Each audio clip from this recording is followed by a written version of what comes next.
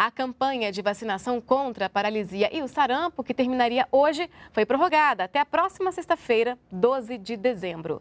O prazo foi estendido para cumprir a meta de vacinar 95% do público-alvo de crianças menores de 5 anos. A campanha, que começou no dia 8 de novembro, já vacinou 9 milhões e meio de crianças contra a poliomielite e 7 milhões e 300 mil contra o sarampo.